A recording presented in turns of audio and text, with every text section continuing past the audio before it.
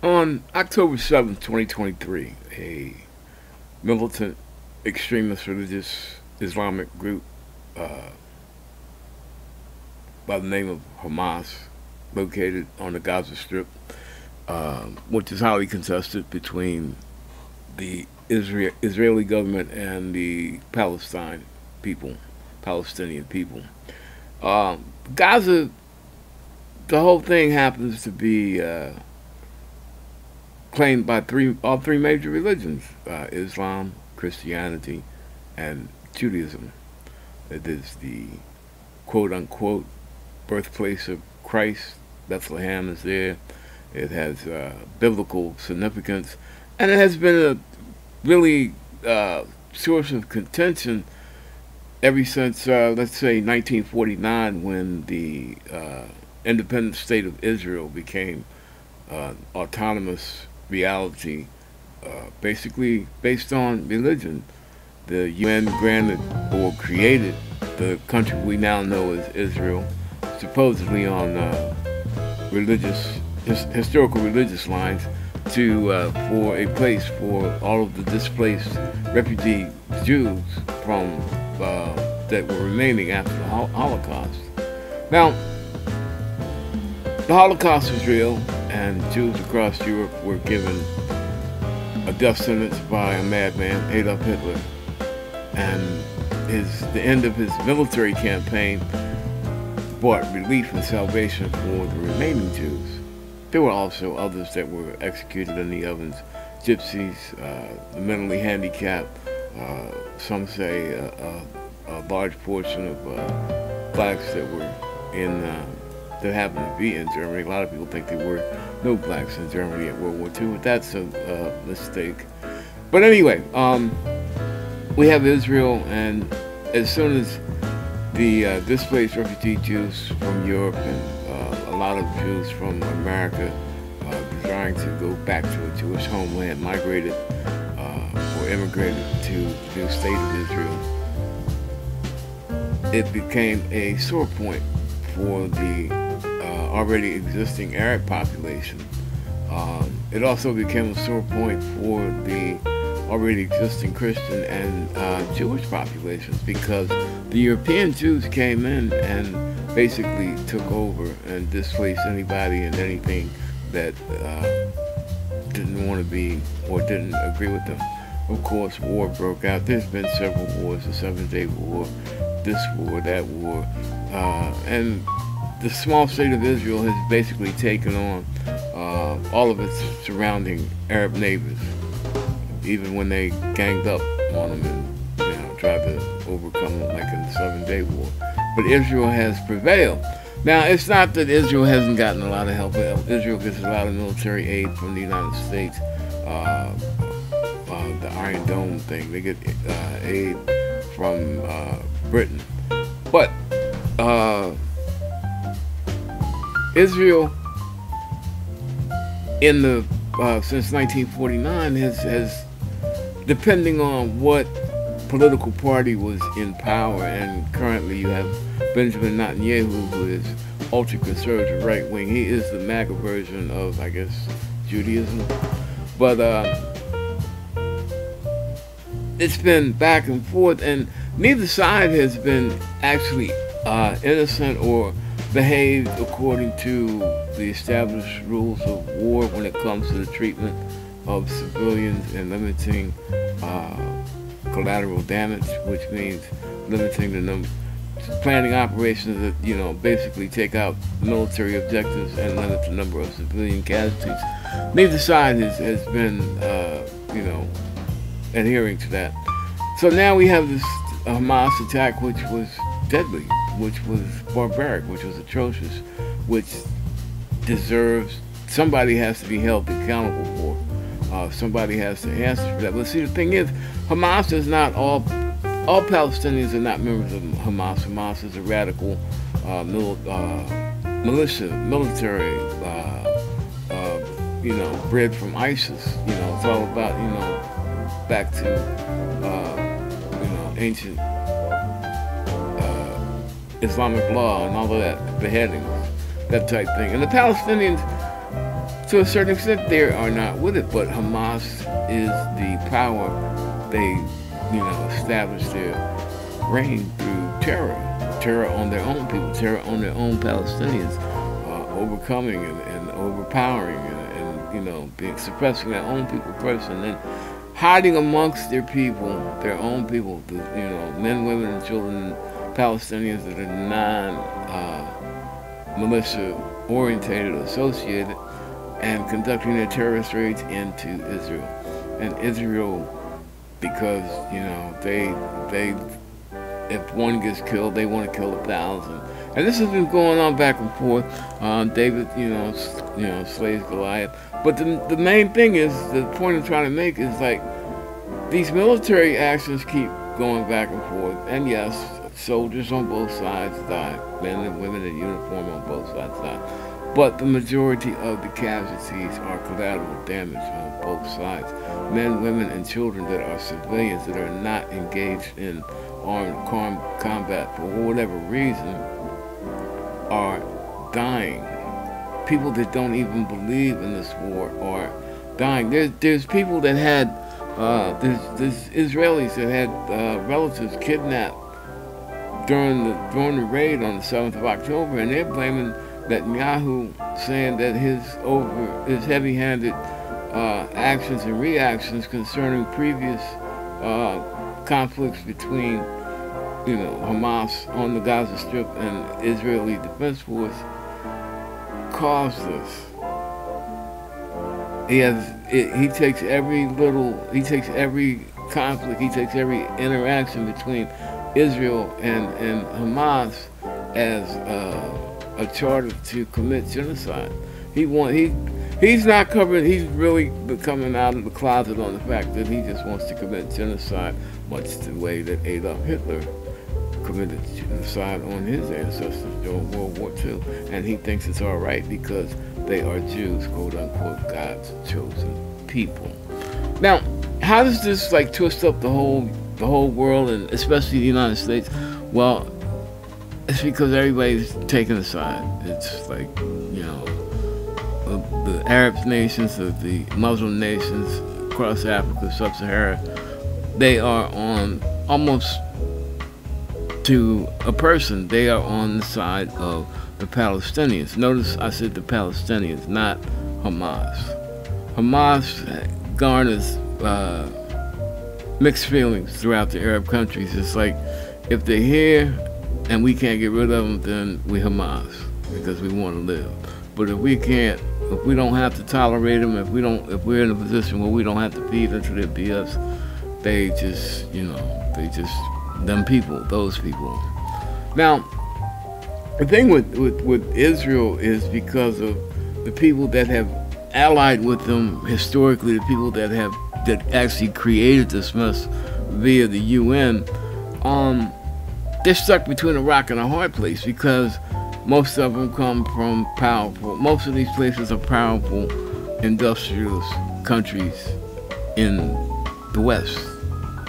United States being one of the leaders. Now, there's a, there's a heavy Arab population in the United States that has normally voted Democratic, and Joe Biden is the de facto head of the Democratic Party, and he's going to need every Democratic and independent vote he can get if this election in 2024 goes any way that it looks like it's going to go, because, you know, beyond all fucking logical belief, Donald John Trump you know, indicted 30, 91 times in state and federal court, all felonies, uh, could be actually facing the rest of his life in jail. And it seems that he, if he does go, he's going to go as a broke man. Well, maybe not broke by uh, people in the middle standards, but by his standards, you know, supposedly being a billionaire now he may not, he'll be lucky if he has a few million left after Judge Engoron gets through with him in the fraud case brought by Letitia James, the Attorney General of the, of the state of New York. Trump is up against the wall, but it further complicates the whole situation with Israel, if you can believe it, with Trump not even being the president.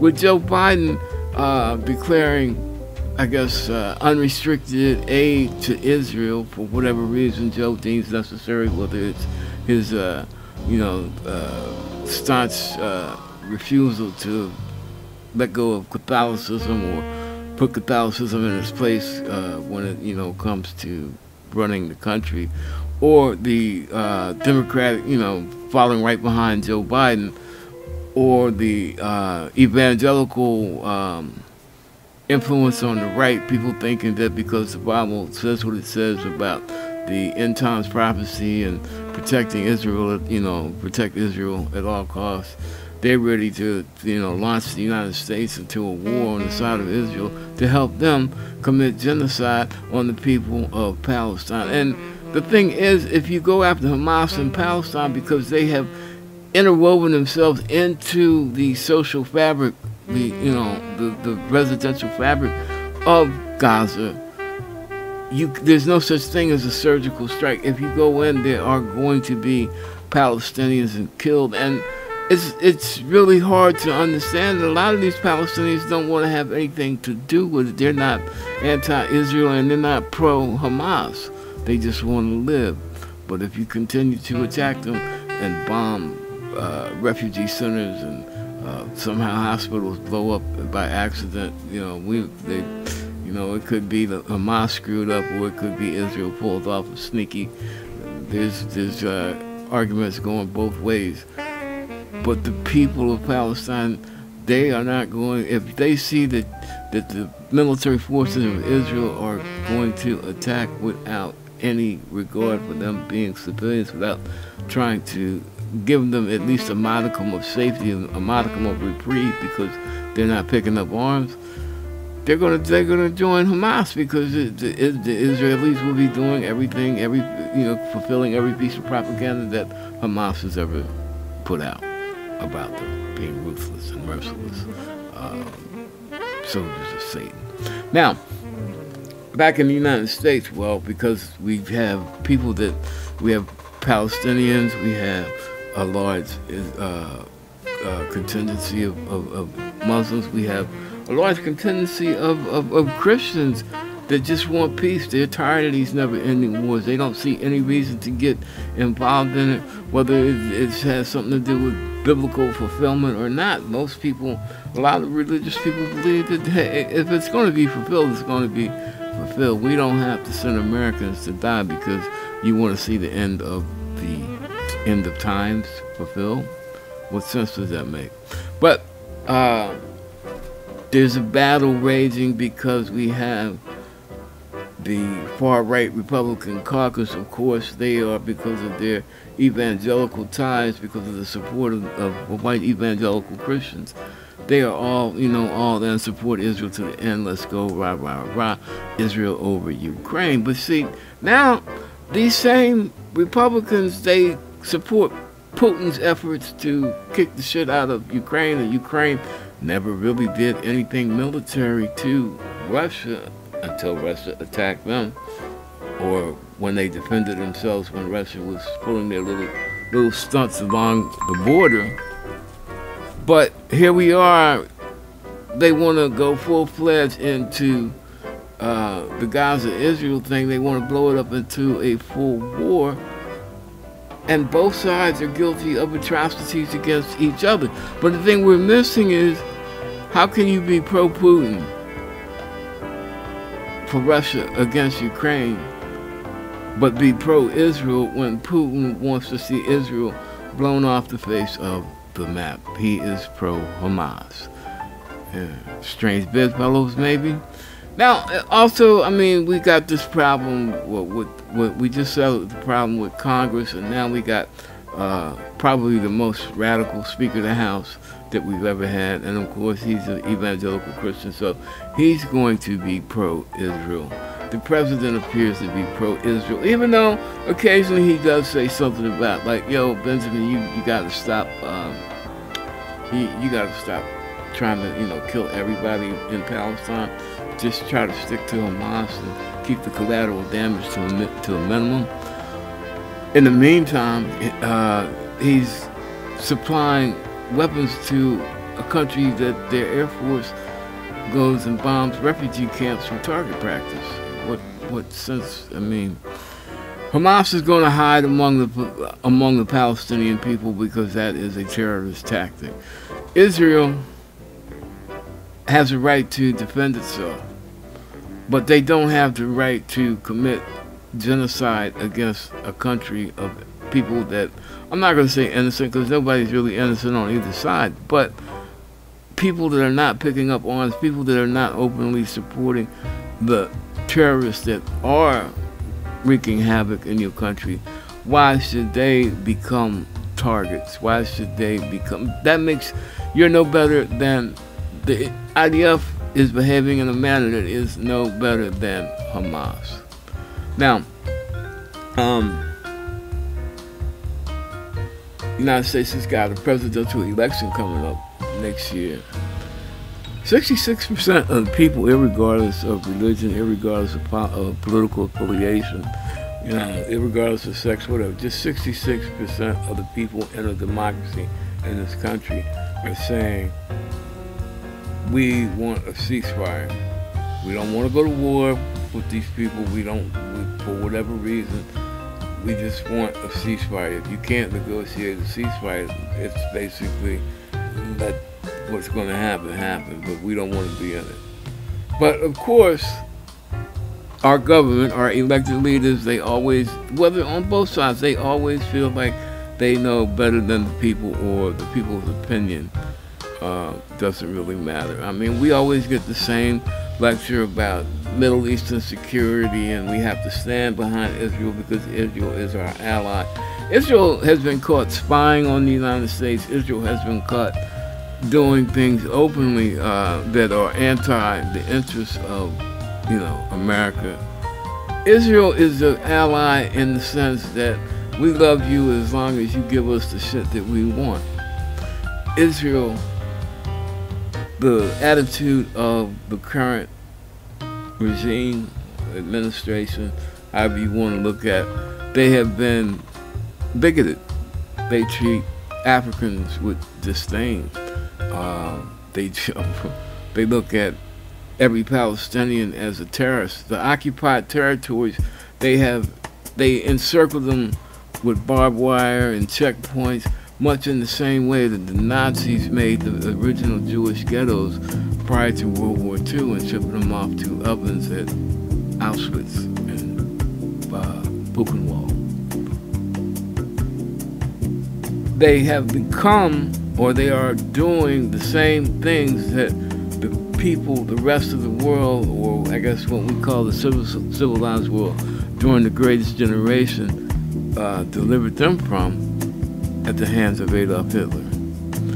But back to the United States, this battle was is raging back and forth, and there's no, there's really no clear lines cut in either party because the Democrat Party, being uh, the bigger tent, having more uh, Arab members, they are now saying that, you know, like it used to be 70, like in most Arab communities, it used to be like 70% uh, support pro-Democrat, but now it's dwindling down to like 15%. Even in even in the Jewish the Jewish community is split because there are they're not pro uh, Palestinian Jews, but they are pro peace Jews. They understand the situation, they understand the atrocities that Israel, you know, has committed against the Palestinians, and they understand how the real Palestinian people are trapped by Hamas. But because they are Jewish, and because the tension has been cranked up, they don't even get to get to speak out because now every time everybody sees anything that you know, anybody that's pro-Palestinian, anybody that they see somebody that is obviously uh, Hebrew. That's grounds for attack and revenge for what the IDF is doing to the citizens of Palestine. They are refusing, I mean, there's UN relief trucks ready to go, but they, they're limiting the number in, and in some cases they're refusing, which means people inside, as soon as, as the supplies are there, which are already very few, as soon as they start to go, then people start to die. Chaos erupts, violence erupts. It actually literally becomes dog eat dog, much much like what happened in the bombed out cities of Europe during World War II. Now, the one thing that is really, uh, I guess, a factor is because this race that looks like it's going to be, unfortunately, again, again, Biden against Trump, and I don't really see how either one of them should be there. Biden is obviously uh, a step or two uh, back from where he was when he was the vice president. Trump, if you want a president that's pure evil, and I mean, he's he's actually talking about what he's going to do to install himself as dictator, basically. The group of lawyers he wants to bring into the White House, and he's open about the purpose. Uh, he's already said he's going to basically uh, put his fingers more into each branch of the government, and sooner or later, everybody's going to end up kissing his ass, and he'll be dictator for life. Now, um, Israel, prior to the, the October 7th uh, um, attack. Netanyahu just got back in. His, his party has been caught, convicted, several members convicted of all kinds of crimes. Had a vote of no confidence. He was kicked out for a while, but then he turned around and won on re-election. Scary thought. It kind of, you know, resembles the situation here in the United States. But all of these things, it's it's a it, it's a it's the it's the effect of right wing conservatism, whether it's you know MAGA brand or whatever the right wing conservative party under Netanyahu is in Israel. But it, it shows the level that these people, in their desires to make their independent habitats the way that they want them to be, they're willing to disrupt the rest of the world and don't give a damn about who gets in the way. Because whoever gets in the way on whatever side they are, if they're not with them, they don't deserve to live. And that's becoming an obvious thing. Well, y'all can think about it, meditate on it, get back to me. I, you know, that's just my humble opinion. But until the next time, as always, peace out and God bless from Uncle Ricky at Uncle Ricky's house.